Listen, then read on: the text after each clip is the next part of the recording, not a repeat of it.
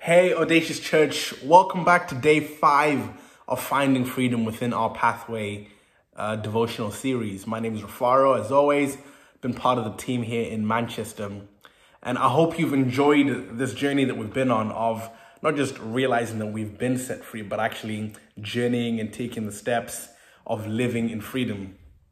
If we go all the way back to where we began in Hebrews 12, where we talked about how we're part of this legacy, this lineage of people who've gone before us, who are not, not competing against us in this race, but competing with us, championing us to go, keep running, you can do it. The, you know, the Moses, the Abrahams, the whoever's, but also the people around us here today. You uh, and I are helping one another, your brothers and sisters in Christ, your church family are here beckoning you to keep going, but also standing with you.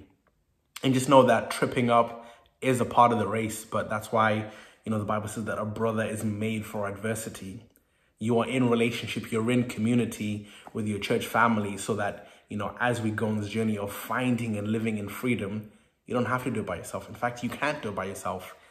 I, I think God intentionally created us with relational limits that we need people.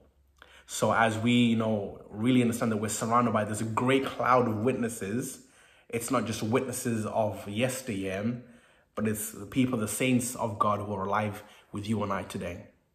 And so I hope your takeaways from this whole week are that you are free and can live in freedom, that you have access to that freedom and that you are loved and can be loved, and also that you have been forgiven and are created with the capacity to forgive through the help of the Holy Spirit.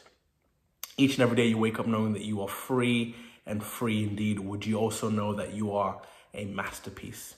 That God created you intentionally and on purpose. There's never been another person like you, and there never will be another person like you. God, in His infinite wisdom, looked at the planet and was like, something is missing, and it was you.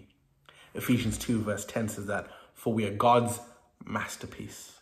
He's created us anew in Christ Jesus so that we can do all the good things He planned for us long ago. This was always God's plan.